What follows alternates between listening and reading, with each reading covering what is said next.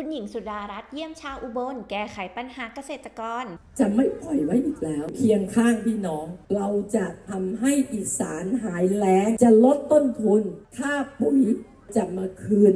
โฉนดกลับบ้านให้กับพี่น้องเนื่องเมื่อวันที่ 27 เมษายนนี้นะคะ คุณหญิงสุดารัตน์หัวหน้าพักไทยสร้างไทย ได้ลงพื้นที่ปราศัยในจังหวัดอุบลราชธานี ครั้งเมื่อถึงสนามบินก็ได้รับการต้อนรับจากชาวอุบลเป็นอย่างดี โดยได้ปราศัยกับชุมชนชาวอีสานว่าเป็นคนขยันอดทน ผลิตสินค้าเกษตรมากที่สุด แต่เป็นเกษตรกรที่จนที่สุด ยิ่งทำยิ่งเจ๊ง ยิ่งจนยิ่งเป็นหนี้ซึ่งคุณหญิงสุดารัตน์ก็จะขอยืนข้างพี่น้องประชาชน แก้ไขปัญหาชุมชนไม่ว่าจะเป็นน้ำจะทำให้อีสานหายแล้งหายจนหายท่วม ลดราคาค่าปุ๋ยที่มีราคาแพง เพราะว่าเป็นการผูกขาด ลดต้นทุนปุ๋ยจะใช้เฉพาะที่จำเป็น แล้วก็จะคืนโฉนดให้กับพี่น้อง ซึ่งทำมาแล้วตั้งแต่รัฐมนตรีเกษตรคืนที่สปกให้กับพี่น้อง และต้องได้โฉนดคืน ได้สปกคืนให้กับทุกคน สุดารัตน์เป็นลูกอีสานเป็นหลานย่าโม ได้บอกไปแล้วว่า ความตั้งใจสุดท้ายในชีวิต คือการทำให้ไม่ทำเอา และขอทำเพื่อพี่น้องชาวอีสานค่ะ พี่น้องหมู่เฮาชาวอีสาน ขยันที่สุด อดทนที่สุดแม่นบอกค่ะ เราเป็นภาคที่ใหญ่ที่สุด คนหลายที่สุด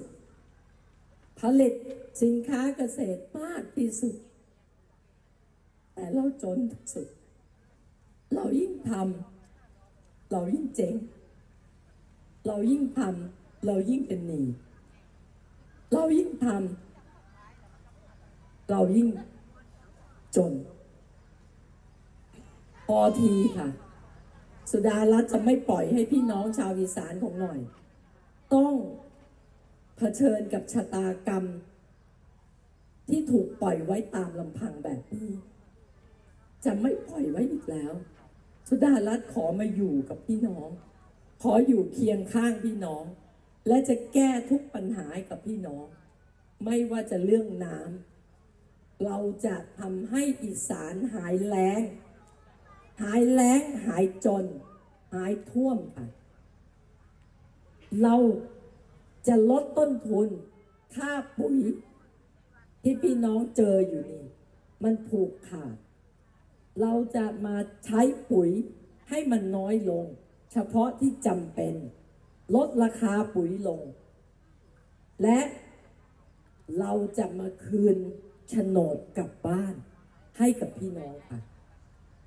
โฉนดไม่ได้อยู่กับเรามานานนะ บางคนก็ไม่มีโฉนด อยู่ๆก็ถูกยึดที่สปกไป สุดารัตทำแล้วตั้งแต่เป็นรัฐมนตรีสาธอ่าเกษตร คืนที่สปกให้กับพี่น้องทำแล้วแต่เขายึดคืนไป เราจะมาคืนให้กับพี่น้องค่ะ ทั้งหมดค่ะ พี่น้องต้องได้ที่โฉนดคืน ได้สปกคืนค่ะ